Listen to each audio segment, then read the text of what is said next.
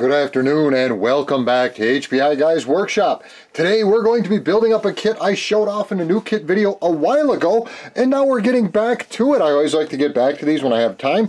This is AMT's 125th scale 1966 Chevrolet Chevelle SS hardtop. We need longer names on these. We need much more words in here to name what the car is. But anyways, this is the 396 po 396 powered Chevy Chevelle SS. We're going to be building it up on the show today. Let's take a look at everything in the box when you get yours. First up will be that beautiful Chevelle body. Looks every bit the part as it should. The trim and the molding on here should be easy to detail. It is quite large. We've got moldings for door handles instead of them being molded onto the body. We've got our vent. We've got wiper locators instead of the mystery locations on there. Be very careful of this piece right here. You don't want to break that or snap it off. The trim is nice and thick so we can work on that. The door seams may need to be deepened a little bit if you choose to do so. Same with the trunk, they are a little shallow, but in scale they look pretty nice.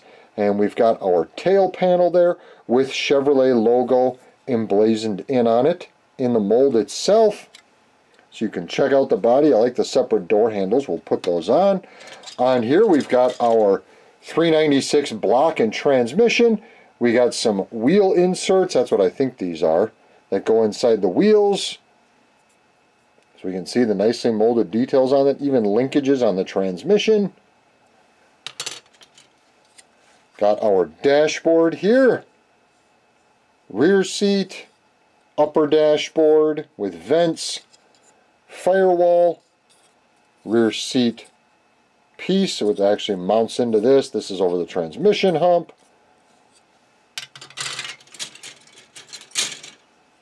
Got our exhaust system, center console, lower dash, hood latch. The exhaust system looks like it's got a minimal bit of flash on it. Have to clean that off. That won't be much work at all. That's why they sell things called hobby knives. We've got our hood here with open vents on the sides, steering box, belt and pulley system, and not just a three pulley system, actually a nice belt and pulley system, alternator with bracket, water pump housing, got our cylinder heads, looks like you can mount it with the valve covers off as a work in progress, exhaust manifolds, nice radiator mount on there with battery tray, even got the starter, brake master cylinder. Like that open hood and then underneath all the correct details on that hood as well. On this one here we've got our front suspension, rear suspension, differential, radiator shroud, steering, drive shaft, we got springs, shocks, radiator hoses, there's our wheel backs.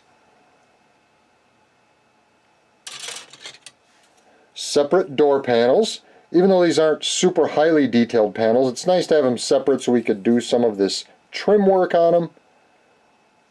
Got our steering, there's our battery. Two steering wheel options, but it looks like mine is reduced to what? No, oh no, no, I thought it was, I thought that was a mistake. That's just a little nub. We'll cut that off. That's even molded open. Check that out. Stock wheel, fan, Steering, make sure the steering column, you don't snap those off. And seats, even got the little emblems in them, molded in. Seat backs look nice.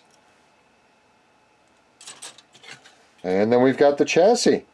Large one piece with the frame. Got nice locator pieces for the shocks, suspension, steering in the front, Underneath we've got carpet molded in. All in good shape on that. Let me go to the other side of the table. Don't lose this. It's kind of loose in the box. There's your tail lights right there. Transparent red. They are small, so don't lose those. We've got our chrome pieces. Grill, bumper, even molded open on the bumper again. Got our rear glass frame. Be very careful cutting that out. Very careful. air cleaner, carburation. That carburetor is beautiful if you're not familiar with it. Stock wheels, only one wheel option on that tree as you see. Valve covers. Looks like hood vents, I'm pretty sure that's what those are. Rear view mirror. So be careful when cutting these out. We've got our door handles hidden off to the side there, windshield wipers, mirror, tail light buckets. Yeah, so be very careful. A lot of small, delicate parts on that well-done chrome tree. Here we've got a set of four Firestone tires. They are not white letter, they are not white wall, they are solid. Basic tread pattern on them. What else we got going on over here? We've got our clear parts tree. Happy to see separate headlights, windshield with vent windows, and our back glass for that little frame. Wrapping it up, we've got a nice detailed decal sheet. Aftermarket details, got some flames, got some Chevelle SS Super Sport logos, and then we've got all of our stock emblems, license plates, Chevelle logo, got all of our flags on there, got even a Delco decal for the battery, I think, dash gauges, air cleaner, SS for the grill, they've got it all on there that you could want. And that's everything that's in the box. I'm going to start gluing mine together and we'll be right back.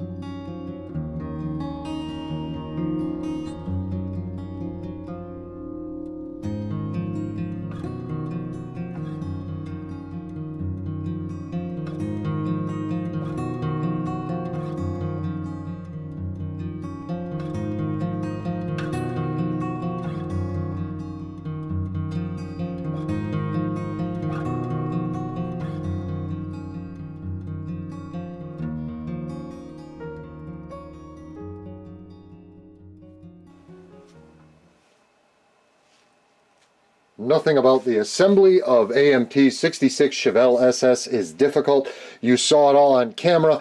Very easy assembly. We can even line up the differential, all the links, and even the shocks and the springs and get them all on there so we can remove it and paint it as another assembly so that we don't have to cut our exhaust when we put that in place under the rear axles and get that all situated.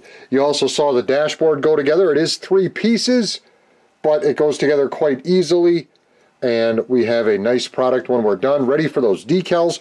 I don't see, um, it is a smooth, well you can feel a little bit of detail down in here but not very much at all. So the decals are going to do a lot to bring that out. I'll Google a picture of the dashboard and get working on that, make sure it looks good. And then we've got our belt and pulley system. I know some of you have commented about the fans looking funny. If you Google a replacement fan for these cars, that's what they look like. And some of them are done that way for balance or whatnot. We've got the radiator shroud on, and we can paint it as a separate piece along with our uh, heater box, alternator, and our reservoir tank and then paint things individually as we go. On this one is just the air cleaner element and there's a decal provided for that. We've got our center console so we can paint that to attach our shifter to it. We've got our wheel backs with the little studs inserted in there. We've got our drive shaft and our lower radiator hose. All those parts on that tree we can get painted. The seats go together lovely. Since I'm doing a, a one color interior, I can just put these together and paint them together, speeds things up. Front seats all together. They look lovely, good assemblies, and once the glue sets, no seams all the way around, no glaring issues, didn't have to clamp anything on this model, everything just kind of went where it should, and we didn't have any problems. Over on the side, we've got our engine, nice representation of that 396. You can see we've got our starter, fuel pump, water pump housing, cylinder heads with all the little rockers and everything showing, got our manifolds, distributor with vacuum and coil. So that is a good looking motor on there. Intake and everything, and all of this stuff is keyed so you can only install it one way. So you don't even have to worry about reversing any of that stuff. Got our steering column. I chose to go with this wheel. You can choose the other one if you want get to our chassis assembly. I left these pieces on here so I can hold it and paint it and then just snip those off and touch that up with a little bit of black. Front suspension goes on easily. Did it all on camera. It's not steerable as the upper suspension arms actually key into those parts there. We've got our steering link, sway bar on there, and our springs end up getting hidden underneath. And you could do all this individually too and attach it later however you decided. And then we've got our transmission brace here, all installed without a fight, without a fuss. So yeah, the whole kit's going together fairly easy, which I'm glad to see. We got the firewall in, we've got our steering in, we've got our motor mounts right there. You can see where it will drop in. We won't have any issues with that either. So that looks pretty awesome, and we can get that all painted up and worked on. You'll see how easily that differential will drop in when we're all done, and things are just all set to line up without a problem. Love when a plan comes together. And then we've got our body with the hood latch glued in. And that was it. And then all I did was take the body and the hood over and scrub those down with simple green so that we don't get any paint bubbling or fish eyes on there. Hopefully we don't. Sometimes you still do. But uh, clean those up, let them dry. I'm going to take all this stuff over, get a very simple, they have very simple basic paint jobs on them. So I'm going to get to work on that right now and I will see you at the booth.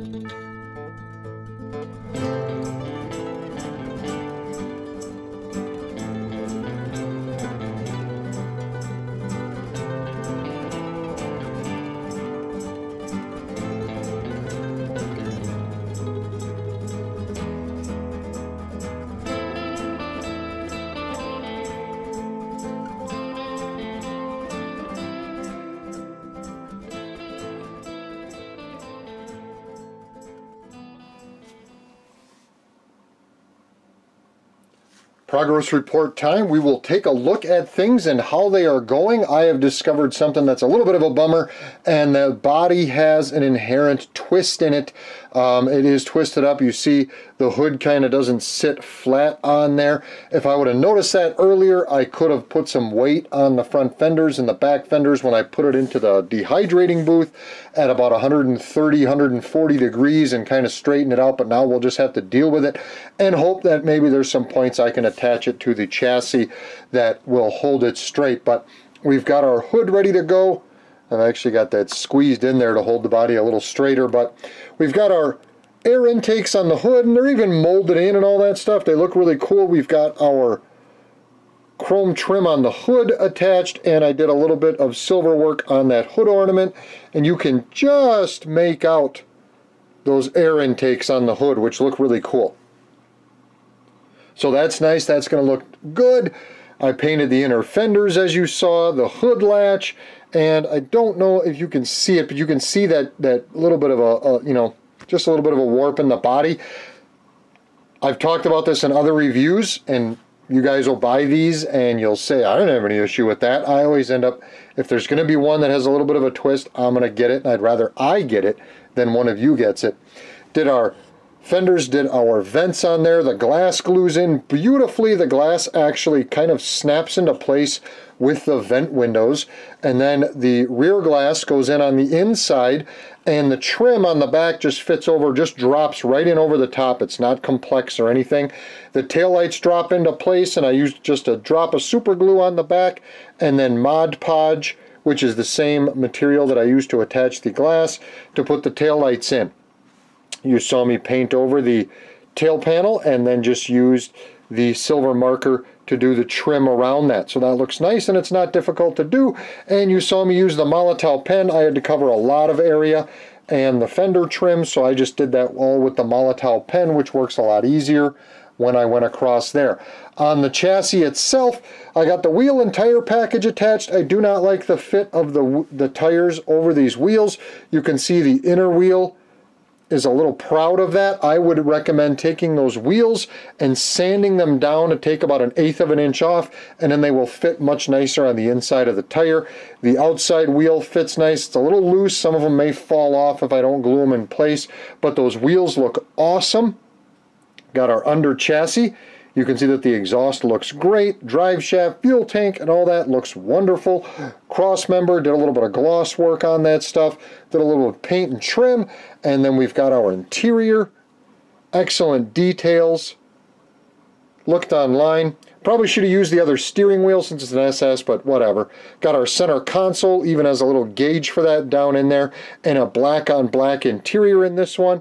And in that sweet 396, which is a gorgeous engine in this scale, chrome valve covers, separate alternator with bracket. Look how nice that radiator fits in. That radiator is actually just snapped in, fits right around the fan, and clips right in to the chassis. Got our tank and our battery and our radiator line, everything's all attached. Looks wonderful, exquisite. I don't think the body's going to fit difficult, but we'll have to check on that later. Got the air clean done, air cleaner done with its decal and everything. That will, of course, sit up on top. Got our grill done with just a black wash. Got the headlights glued in with Mod Podge. Got our turn signals and our rear bumper. Windshield wipers, mirror, and door handles left to go. Body emblems, SS, Chevelle across the back, the flags, all that stuff, the uh, center caps and everything, all need to be put on and then I'll give it a couple coats of future floor polish when I'm done. So I'm going to finish that up. We're going to see if that warp body actually, if I can get it glued on to the chassis and get it to sit straight. And we will be back in just a little bit.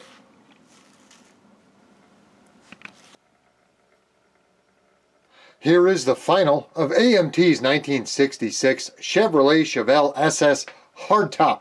Two-door coupe. It is a nice looking model. We got some things to talk about with the final assembly. One, again, I'm not a big fan of the plastic pin attachment points for wheels. They break so easily and I snapped two off and had to try to compensate with the uh, end of the assembly. The body fits onto the chassis extremely tight. I mean super tight, but the good thing about that is, is that it straightened out the body for us. So the body was a little warped. It was a little high on the nose there on one side. And when we stretched it over that chassis, which is a it, it, it, takes a good amount of strength to snap it over the top of that chassis and, and get everything level in there. And then it straightened itself right out. So that's a good thing that it happened that way. Um, the, the tire and the wheel fitment, the inner wheel, before I glued it into place, I should have sanded it down and removed about an eighth of an inch from the inner wheel and then it would have fit much nicer. With the way it is now, the, the tires kind of look like they're a little bulging uh, you know, the wheels are a little too big for the tires or something, but if I would have done it the other way, if I would have uh, uh, sanded them down a little bit, we would have been better. But otherwise, it's a great looking kit. It definitely fits the part.